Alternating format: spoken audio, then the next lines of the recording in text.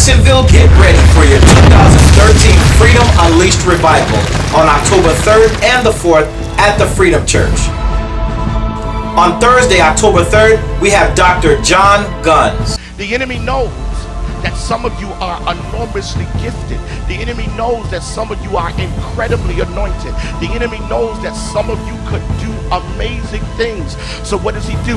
He works to keep you unplugged because he knows if you stay charged up, eventually you're going to operate at your highest capacity. On Friday, Pastor John Hannah. To take 20 seconds and lift your hands and open your mouth and thank God that they didn't date you, that you didn't get the job, that you didn't get you weren't qualified, that you weren't a part of the clique, the organization, that you're not a part of the inner circle. I need you to just take 20 seconds and thank God for the rejection.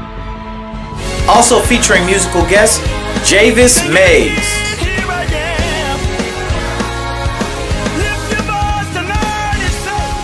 For more information, visit www.freedomchurchjax.org. This is one revival you do not want to miss.